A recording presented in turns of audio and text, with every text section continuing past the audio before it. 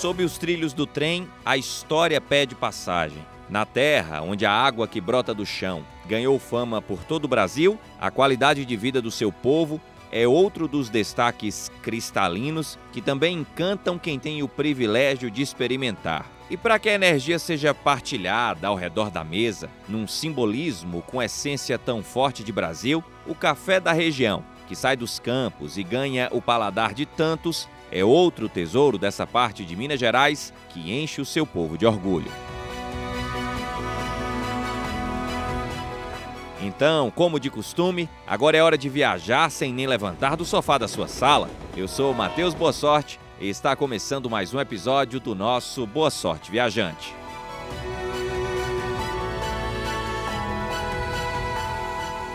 Boa sorte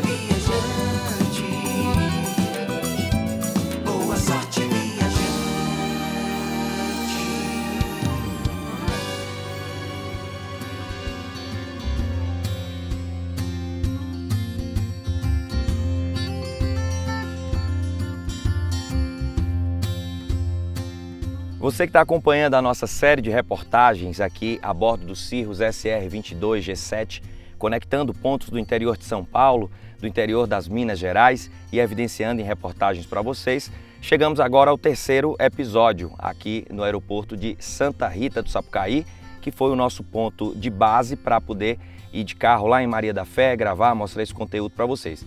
Agora, Matheus, a gente volta para Santa Rita, porque nós vamos para um outro trecho até o município de São Lourenço. Eu queria São que você Lourenço. falasse como é que vai ser esse terceiro trecho. É um voo assim é, de aproximadamente 25 minutos, é, condição de tempo céu azul também, é, tempo claro, né?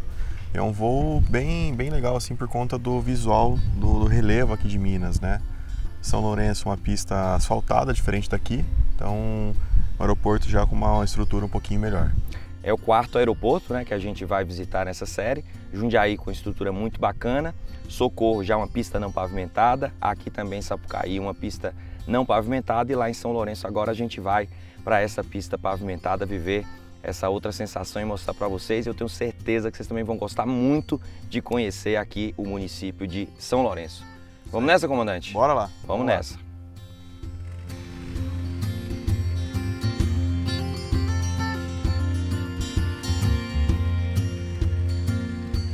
A convite da Plane Aviation, que é representante no Brasil da marca Cirrus, fabricante de aeronaves estadunidense, estamos viajando com a companhia de um dos mais seguros, confiáveis e versáteis monomotores do mundo.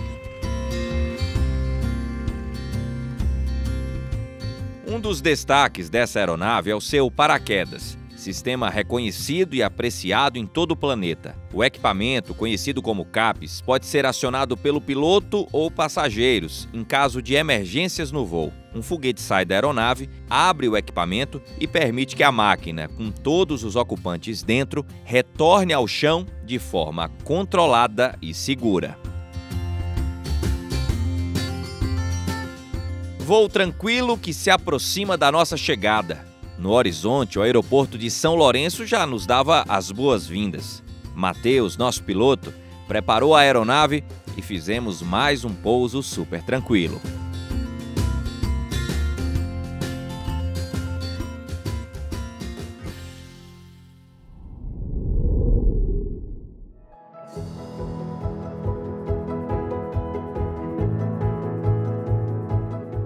Hoje vamos juntos visitar a cidade mineira de São Lourenço, distante 392 quilômetros da capital, Belo Horizonte.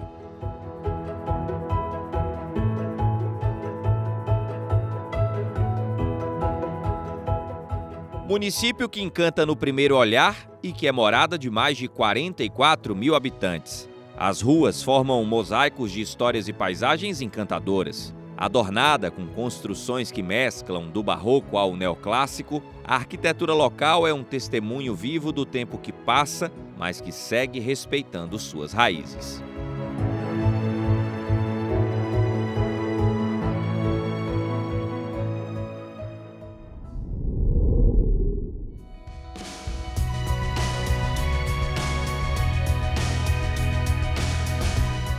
Para embarcar em nossa primeira programação do dia, vamos conhecer a Estação São Lourenço, um renomado equipamento ferroviário projetado e construído por engenheiros ingleses que conserva a essência de uma época em que o trem fazia pulsar o cotidiano da região. A história começou em 1884, quando foi inaugurada a estação e a estrada de ferro Minas e Rio, que ligava Cruzeiro ao município de Três Corações do Rio Verde. Uma curiosidade é que a ocasião contou com a presença de Dom Pedro II e sua comitiva imperial, que fizeram um itinerário de 170 quilômetros. De início, o objetivo principal do equipamento era escoar a produção agrícola, especialmente de café, e facilitar o acesso às estâncias hidrominerais do sul de Minas Gerais, mas aos poucos foi se tornando um dos maiores símbolos turísticos da região.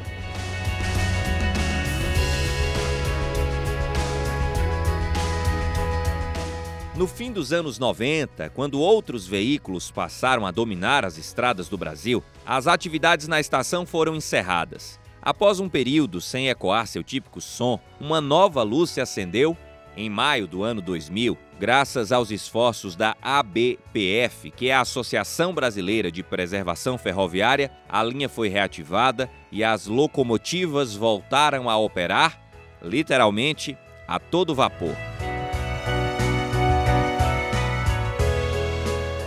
Atualmente, são realizados passeios aos finais de semana e feriados. A bordo da locomotiva 1424, o percurso começa em São Lourenço, seguindo pelos trilhos da antiga Estrada de Ferro Minas e Rio até o município de Soledade de Minas, e depois retornando à estação ferroviária de São Lourenço. A cerca de duas horas de experiência proporcionam um sentimento único e nostálgico, imergindo os visitantes na tranquilidade e no charme dessa rota histórica.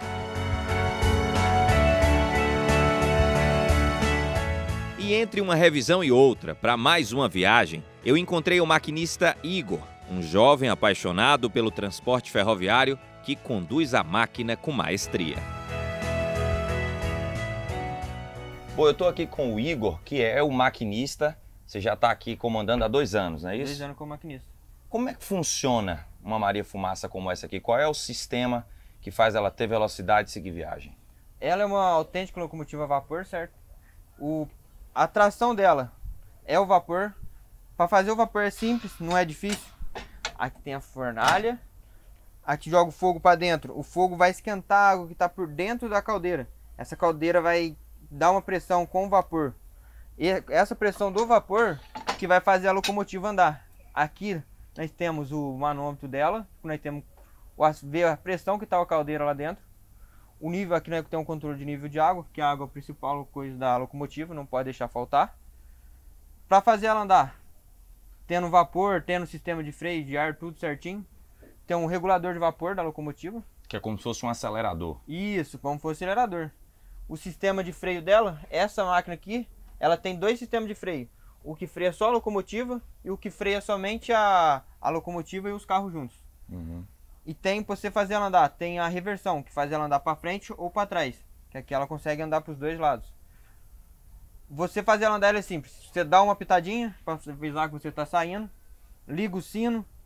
Bota a reversão para qual sentido você quiser andar.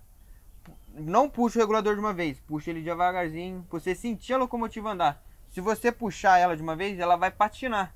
Porque ela vai ter muito vapor, mas não vai ter força para sair de uma vez. Entendi. Porque ele vai estar com peso. Você vai puxando devagarinho, o trem vai começando a andar devagar. Nisso, hora de andando, você vai diminuindo a marcha e vai curtindo um pouco o passeio. Em média, 3 mil pessoas embarcam mensalmente na Maria Fumaça para apreciar a paisagem verdejante e montanhosa da Serra da Mantiqueira. Quem tem a oportunidade de contemplar essa beleza natural semanalmente é a comissária Larissa de Carvalho, que há 11 anos recebe os visitantes com um sorriso acolhedor, proporcionando um atendimento atencioso e tornando cada jornada uma experiência memorável. Hoje, atualmente, né, como comissária, eu auxilio no embarque e desembarque do pessoal e acompanho ele no trajeto até Soledade de Minas. Então, durante o percurso, a gente faz o trabalho de venda né, dentro do, dos carros, que é a parte de bebida. E na parada em Soledade, a gente auxilia eles pro embarque novamente para retornar aqui para São Lourenço. Olha, é muito bom, principalmente ver no olhar das pessoas, né, aquele brilho de reviver aquilo que elas fizeram no passado, né? Então, hoje a gente recebe muito turista que já foi ferroviário ou que algum pai já trabalhou na companhia.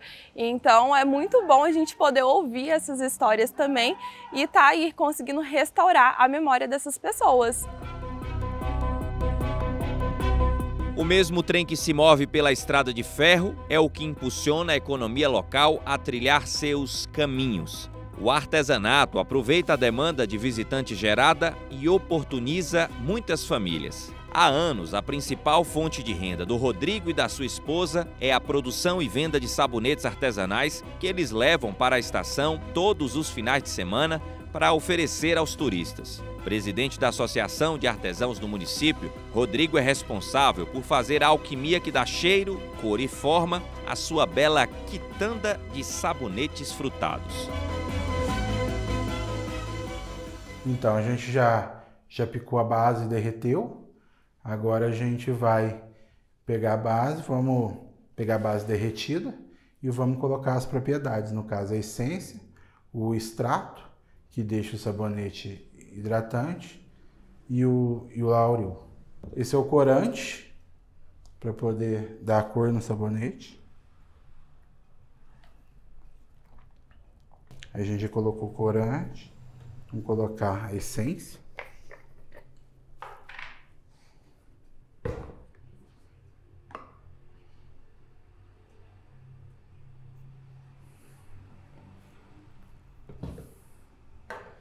O extrato, que vai deixar o sabonete hidratante.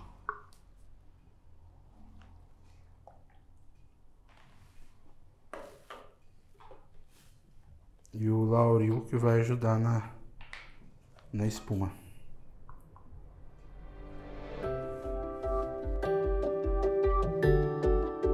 Com amor e paciência, Rodrigo adiciona cada ingrediente, agregando a suavidade de quem transforma seu trabalho em uma verdadeira obra de arte. E aqui já estão já estão prontas as formas todas cheias. Só esperar agora uns minutinhos. Ainda mais com esse frio que está fazendo, rapidinho a, o sabonete já vai estar pronto para ser pintado.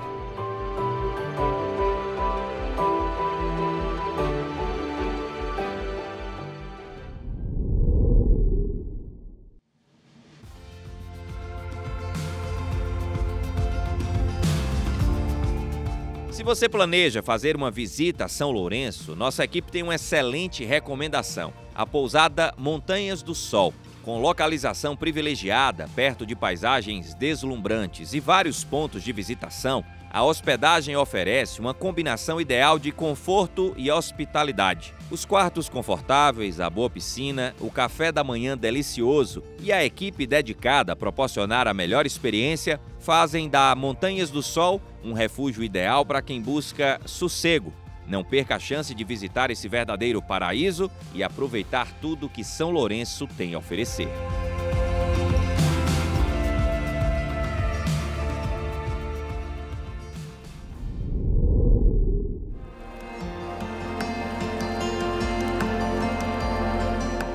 Embora a água seja um recurso essencial para a existência do planeta, mais de 99% dela está concentrada nos mares e geleiras, numa condição inviável para o consumo. Nesse cenário, o Brasil possui cerca de 12% da água doce superficial disponível no mundo, que vai diretamente para o lar de milhares de famílias. E quando o assunto é esse líquido precioso, São Lourenço se destaca. Inaugurado em 1936, o Parque das Águas conta com a presença de nove fontes minerais que possuem propriedades terapêuticas conhecidas por revitalizar o corpo e a mente dos visitantes que mergulham e experimentam seu frescor. A crença em sua eficácia é tão profunda que pesquisadores têm ampliado os estudos sobre benefícios por trás desses fármacos naturais, que consolidam o parque como um destino de saúde e bem-estar. Qual a ideia do Parque das Águas naquela, naquela época, né?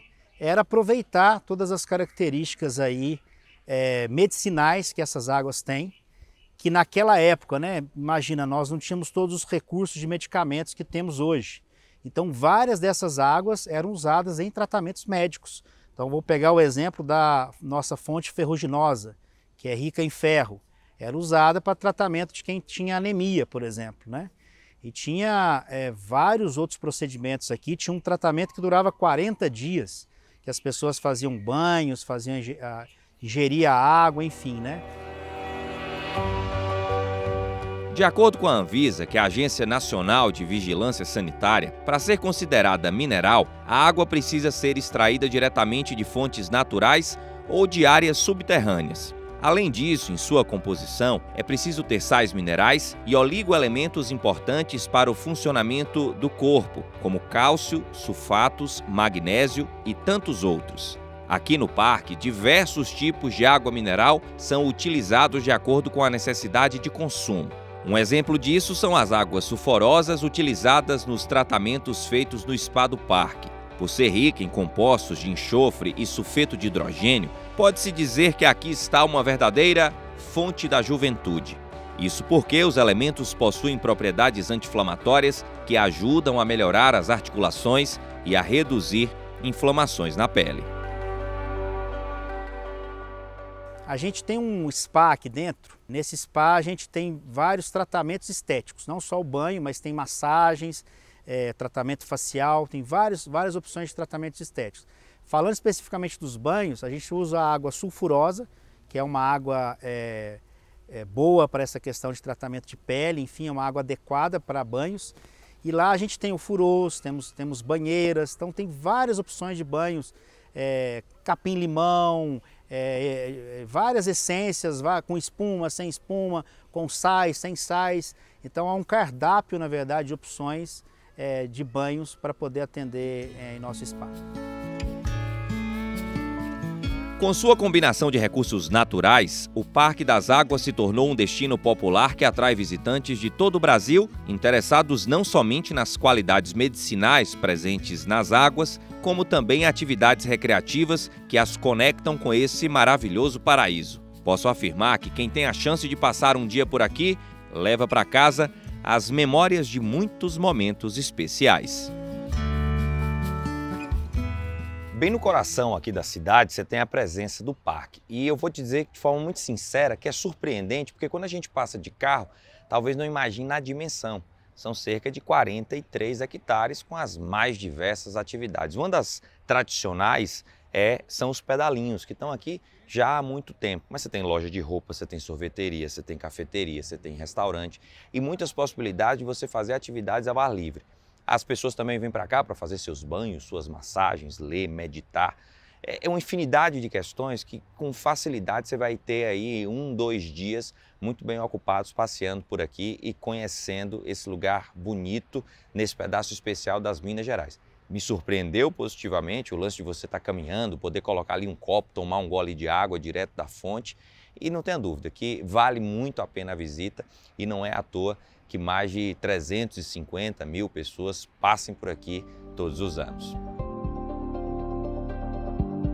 Mas com tantas fontes disponíveis para que o visitante possa experimentar a água mineral, eu, é claro, quis aproveitar a chance de viver essa experiência.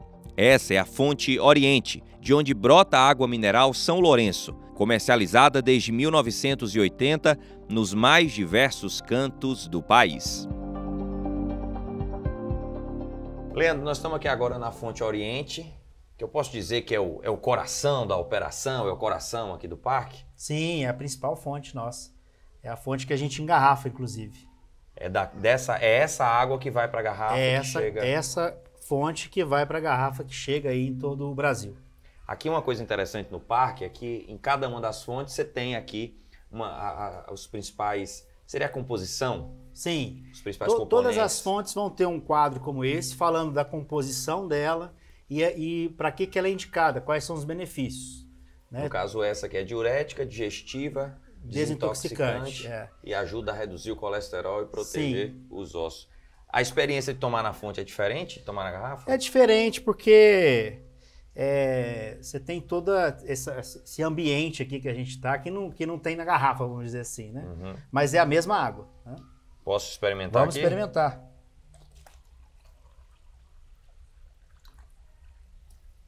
Vamos. Ela é naturalmente gaseificada. Sim. Como é esse- que é esse processo? Esse é o grande diferencial dessa água. Então ela, a gente já extrai ela do subsolo, do aquífero, gaseificada. Isso é uma coisa rara nesse mundo de águas, né? De água mineral é uma coisa mais rara. E a gente tem essa raridade aqui. E o que que faz com que essa água já, já brote com esse gás? Tanto a carbonatação dela quanto os, os demais minerais é o percurso que ela vai fazer no subsolo, nas rochas, até ela chegar no, no local que a gente faz a captação dela. Então é esse caminho nas rochas que vai arrastando e trazendo os minerais que a compõem. São nove fontes. Aqui no parque, sim, são nove fontes. Uma coisa interessante é que cada uma dessas fontes, cada água que bota, brota em cada uma dessas fontes, carrega consigo uma propriedade, carrega consigo um sabor, carrega consigo um benefício para a saúde. Eu mesmo já tomei outras ali e é num espaço muito pequeno, né? A área total são um pouco mais de 43 hectares. Isso, 430 mil metros quadrados que a gente tem aqui, e é exatamente o que você relatou aí. É um espaço relativamente muito pequeno para ter tanta variedade de água. Então, isso é o que torna esse pedacinho de terra aqui é, sagrado, né? Por causa dessa, dessa diferença que a gente tem aí. Bom, e você vindo aqui, traga seu copo, traga sua garrafa e viva a experiência de ir de fonte em fonte, experimentando, eleger a sua favorita. Essa aqui, a, a, a Oriente, ela tem um, quê especial, por conta né, do tradicionalismo, está aí na mesa de tantos e tantos brasileiros, e realmente é uma água extremamente saborosa. E eu acho que trabalhar no dia a dia, na companhia de um ambiente como esse aqui, deve ser um privilégio. É um privilégio, não tem estresse. A gente está sempre aqui onde as pessoas vêm visitar e turistar, é o lugar onde a gente trabalha, o local de trabalho nosso, então é realmente um privilégio estar aqui.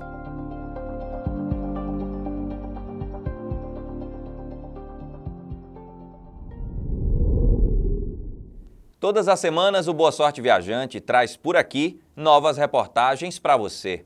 E para nos incentivar a seguir essa jornada, pegue o seu celular, abra o aplicativo do YouTube, busque pelo nosso programa e se inscreva. Cerca de 85% da nossa audiência fiel ainda não se inscreveu. Esse é um passo muito simples e que nos ajuda bastante. E aí, eu posso contar com você?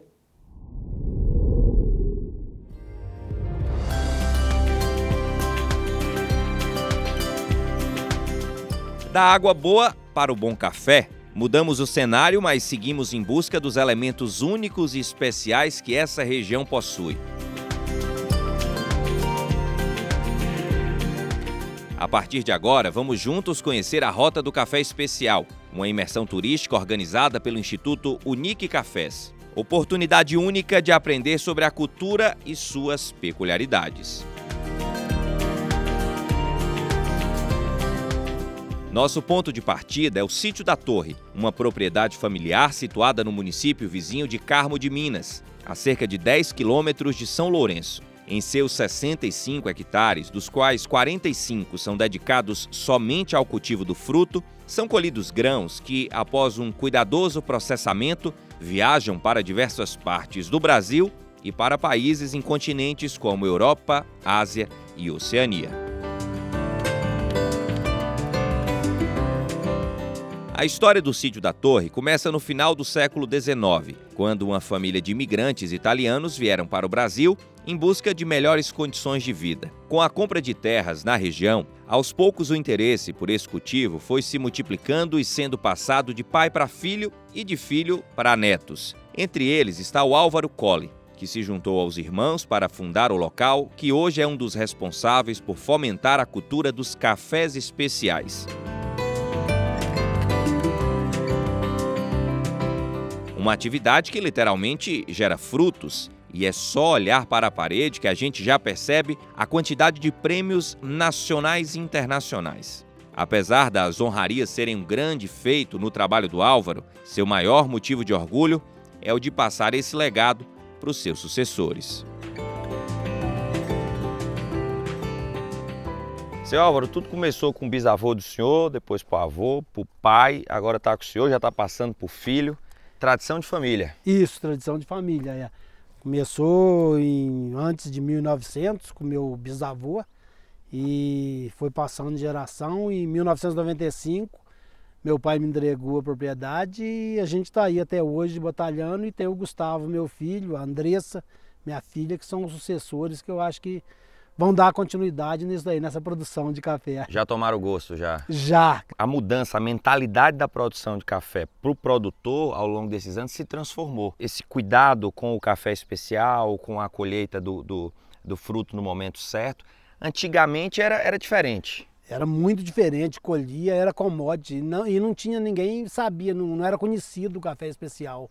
Então eu acho que essa mudança foi complicada tanto para a gente como produtor, foi demorou um tempo para a gente conseguir mudar isso de 2000 até para diante que nós conseguimos mudar e mudar a mentalidade dos colaboradores também, né? Porque o pessoal que trabalha no terreiro, que colhe o café seletiva, no começo eles estranhavam muito, peraí, por que, que o Álvaro quer que colhe só maduro? Nunca aqui no terreiro, esse cuidado de separar lote, não tinha isso. Então foi um trabalho de, de como diz, de ensinamento tanto para a gente como para eles também, mas graças a Deus deu tá dando certo. Tá dando tão certo que a coleção de prêmios aqui da propriedade é das maiores. Já ganhou prêmio nesse mundão todo aí? Graças a Deus, ganhamos já, fomos já campeão nacional em 2013 no concurso da BSCA e já fomos campeão da Mantiqueira, campeão de Fair Trade, é, da concurso da cooperativa e como às vezes não é campeão, mas estão lá Tá junto na- da, na, Tá na disputa. na disputa lá junto. E é. o coração fica como? Fica e dispara. Na hora de falar lá, quando é a revelação, o coração dispara. Não só meu, como da família também, né? Fica todo mundo, é uma tensão gostosa. Bom, eu sou viciado em café, tomo bastante. Agora, uma curiosidade: produtor de café toma quantas xícaras ao dia? Não tenho a quantidade certa. Toda hora que eu, que eu acho que eu chego em casa, que eu, coisa, eu, eu tomo um, um tanto de café. Sagrado é cedo, tá? E depois do almoço é sagrado. Mas durante o dia a gente não tem um limite. Olhou para a garrafa, a garrafa olhou para o senhor. Bota, Vai um cafezinho. Vai um golinho. Vai um. É isso, é, uma, é uma- um amor, não é uma paixão, é um amor. O café é originário da Etiópia, na África, onde as primeiras plantas foram descobertas e cultivadas. Chegou ao Brasil no século XVIII, trazido por Francisco de Melo Palheta. Hoje, os estados de Minas Gerais, São Paulo, Espírito Santo e Bahia são os maiores polos de plantio nacionais. O Brasil possui mais de 50 milhões de sacas de café por ano, sendo o maior exportador mundial, representando 38% do volume global. A população acaba consumindo cafés de baixa qualidade por não conhecer a origem, né, da onde, como são produzidos esses cafés. E boa parte do café comercial, café de gôndola de supermercado, ele vai ser basicamente um café sem retirada de impurezas, ou seja, grãos podres, grãos verdes, grãos fermentados, grãos quebrados, partes da planta, inclusive, como folha, galho. A torra mais clara de um, de um café, ela tanto mantém atributos sensoriais positivos, quanto, no caso da torre escura, esconde esses atributos negativos. Então, a torre escura é uma artimanha da indústria de eh, esconder parte desses defeitos presentes dentro da bebida. Mas você sabe o que torna um café de fato especial? Nessas minhas andanças, eu já aprendi bastante sobre o assunto. Mesmo não sendo um especialista, minhas pesquisas me levam a crer que as mudanças significativas na forma de manejo, desde a lavoura, passando pela colheita e chegando até a xícara, são o que fazem essa fabricação ser de excelência. A atenção aos detalhes, o carinho e a paciência com que os grãos são selecionados e a forma com que o próprio clima reage às sementes resultam em uma experiência sensorial única, com notas de frutas, flores, chocolates e tantas outras nuances. Aqui na região a gente reúne eh, todas as condições ideais para que essa planta se desenvolva bem. Tanto a parte do ciclo, né, é, relacionado com o clima, quanto a altitude ideal, o tipo de solo. A gente tem um solo argiloso que retém umidade, então mantém essa planta sempre verde o ano todo. As estações muito bem definidas são muito importantes, aliadas ao, claro, o trabalho do produtor, que é o primeiro elo dessa corrente. Então, o querer fazer café especial aqui na região é certeza de resultado positivo. Fruto cultivado com tanto amor que preenche o coração daqueles que dedicam suas vidas a produzir essa iguaria. Entre os profissionais do sítio da Torre, encontramos o Fabiano, um barista apaixonado pelas técnicas de plantio utilizadas na fazenda. Uma das mais importantes tem relação com as mudanças climáticas que ocorrem na região, que influenciam diretamente na qualidade e na experiência do consumidor. Fabiano, isso aqui ajuda bem a explicar tanto o ciclo do fruto quanto também a questão climática, a questão das estações aqui no ambiente. Eu queria que você falasse sobre isso aqui para o nosso telespectador. É, exatamente. O cultivo do café ele segue um ciclo frutífero. Então, para que, esse, uh, que ele flore, desenvolva o fruto, amadureça e eu possa colher, eu preciso de estações muito bem definidas. É que a gente consegue entender o que, que acontece em cada etapa do processo, em cada época do ano, em cada estação climática. Final de agosto, começo de setembro, começa a voltar a chover, começa a ter chuvas em intervalos mais curtos. Então a planta entende esse sinal que é hora de florar. Então ela vai abrir de duas a três floradas de setembro a novembro. Novembro, quando começa o período chuvoso de fato, né, ela formou já o chumbinho, começa o período chuvoso. Aqui chove de novembro a março, que seria esse período aqui. Período justamente que ela está desenvolvendo esse fruto, ela precisa desse volume de chuva. A partir de março, começo, final de março, começo de abril, as chuvas começam a ter intervalos mais longos, aí é o contrário, a planta pega o sinal de novo e começa o processo de amadurecimento. Então ela vai, come vai começar a amadurecer e eu vou começar a colher as primeiras lavouras por volta do meio de maio, que é esse período aqui, onde ele está verdolengo, começando a amadurecer. Partir de maio até agosto é o período de colheita, que é justamente o período de estiagem, onde eu tenho que estar no meio da lavoura colhendo esses frutos e também para secar esses cafés né, a sol no terreiro. Ah, o café ele é um cultivo, ele é um fruto não climatérico, então ele não amadurece depois de escolhido. Então eu tenho que colher ele a partir daqui, ó, do ponto cereja, que a gente chama, né? Uhum. Então a partir do ponto cereja a gente começa a colher. Aqui no finalzinho tem alguns frutos que quando eu colher, eles já começaram a secar no pé, dá para observar bem na planta ali. Uhum. É, esse cara lá embaixo, ele não pode secar junto com o cereja. Por quê? Eles já estão em níveis de umidade diferentes. Então a gente passa ele num equipamento específico, uma peneira, que vai separar para mim o fruto que se desenvolveu, cresceu e amadureceu do fruto que simplesmente secou no pé por algum motivo. Então esse camarada aqui vai dar qualidade também, tão, tão, tão qualidade quanto o fruto cereja. Esse daqui já não vai gerar qualidade, então ele vai secar separado no terreiro e acabar indo para outro tipo de projeto, não o café especial.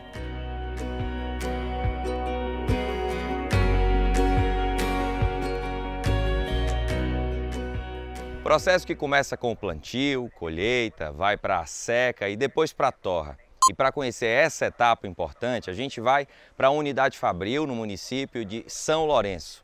Lá, a magia acontece, aquele cheiro gostoso de café toma conta daquilo que a gente respira e se prepara para ganhar os lares do Brasil.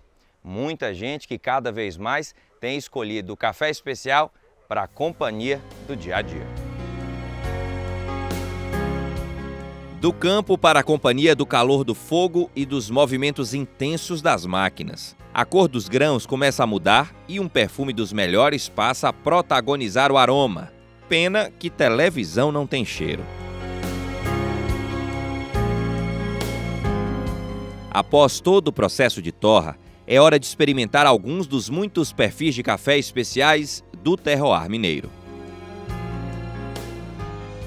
Leandro, a gente chegou aqui agora na reta final da nossa Rota do Café, que é uma hora gostosa onde a gente experimenta. E o é. que, que você preparou aqui para mim? Aqui a gente preparou quatro prensas, que é o legal dessa degustação que a gente faz é ver o processo de seca diferente lá no terreiro e o que que traz no resultado da minha xícara no final. Então, o, prime o primeiro café que eu vou servir para você, Matheus, é um café que é um processo de cereja descascado. Então ele foi seco sem a polpa. E como característica principal desse café é trazer acidez e um corpo bem suave para o café. Bom, vamos experimentar aqui então cereja descascada.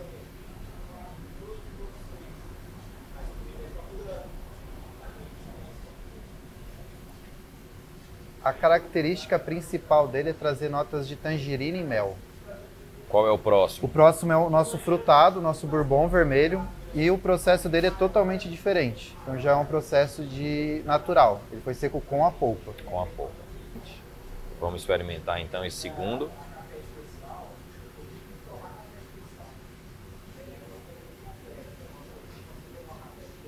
Completamente diferente. Foi diferente, né? É, A gente tem uma harmonização, a gente não costuma harmonizar alimentos com café. Normalmente Aham. a gente só toma o café puro ou o, o café acompanhando o alimento. Sim. Aqui é o contrário, é o alimento acompanhando o café. Então eu vou te convidar a pegar uma fatia do queijo, passar um doce de leite em cima e pegar o café ali e fazer essa mistura junto ali. Desafio complicado. Esse Difícil, aqui né? eu vou falar um negócio pra você. Poucas vezes na minha profissão eu já fui desafiado a fazer algo tão difícil como isso aqui que você tá pedindo que eu faça. E aí eu vou harmonizar ele com qual? Qualquer café. Aí você vai sentir a diferença que traz o alimento. Pega o que você mais gostou. Ixi. Bota, bota um golinho desse aqui pra mim. O moca, Que eu tô achando que o moca aí. Isso aqui é bom, né, velho? bom demais. Hum, O mais mineiro que a gente vai fazer aqui é cortar o pão de queijo no meio, passar o doce de leite e colocar uma fatia de queijo Minas. Muda a percepção completamente. Acho que combinação melhor não existe, não. É, é Minas em, em si. O queijo assim. fica mais gostoso, o doce fica mais gostoso, o café fica mais gostoso. Rapaz, que negócio sensacional, viu? Não sei se pela combinação, mas vou eleger o moca, viu? É um café que tem bastante saída com a gente também. Olha, parabéns pelo cuidado que vocês têm com todos os processos. É, Nota-se que tem um amor, que tem um carinho, que tem uma preocupação. Nota-se o sentimento de legado que vocês querem deixar com o que vocês estão fazendo por aqui. Estou muito feliz em conhecer. É um café realmente de muita qualidade, que começa lá na lavoura, que começa no cuidado, no plantio e que revela muito dessa face do nosso Brasil, do homem do campo, dessa desse homem do campo que tem se reinventado, que tem se transformado, que tem se atualizado. Em todo canto que a gente passa de Minas, a gente vai encontrando mais e mais motivo para criar um caso de amor com esse estado. Parabéns por ser daqui e parabéns por fazer o que você faz. Muito obrigado, Matheus. Ô, Minas é cheio de história, né? Quanto mais a gente vai vendo ali, mais a gente vai conhecendo, mais a gente se apaixona, né? Porque conhecer o processo por trás do café traz essa paixão pra gente. Saber todo o trabalho do produtor pra gente fazer a melhor xícara é muito legal, muito importante pra gente, né? Parabéns mesmo. Mas isso aqui é um negócio de doido.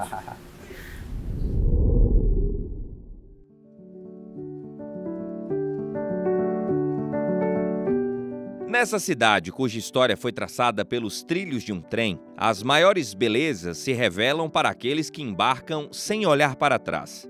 Aqui em São Lourenço, as belas paisagens naturais soam como bússolas que guiam os visitantes. Na terra em que até as águas são sinônimo de cura e o café tem como sobrenome a palavra especial, é impossível partir sem o desejo de reencontrar os sorrisos, a gentileza e o amor no coração que essa cidade faz transbordar de si.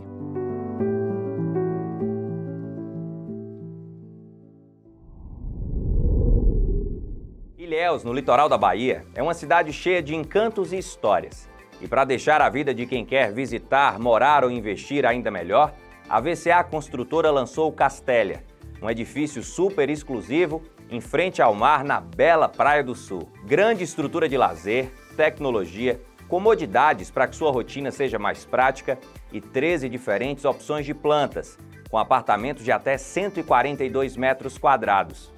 Entrada facilitada e parcelamento direto com a VCA em até 100 vezes. Fale com um dos nossos consultores e conheça o projeto.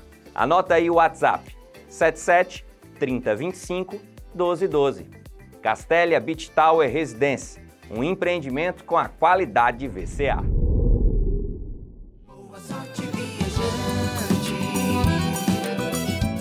No próximo Boa Sorte Viajante, exibiremos o quarto e último episódio da nossa série especial voando pelo interior de São Paulo e sul de Minas Gerais. E para terminar muito bem essa aventura, é hora de conhecer São Tomé das Letras, uma das cidades mais místicas do país. Destaque para sua história, belas cachoeiras, e relatos de quem estuda sobre extraterrestres e afirma que a região possui protagonismo no assunto. Se inscreva aqui no canal para acompanhar as reportagens que o Boa Sorte Viajante prepara toda semana. Eu sou o Matheus Boa Sorte e esse foi o nosso programa de hoje. Até a próxima. Tchau.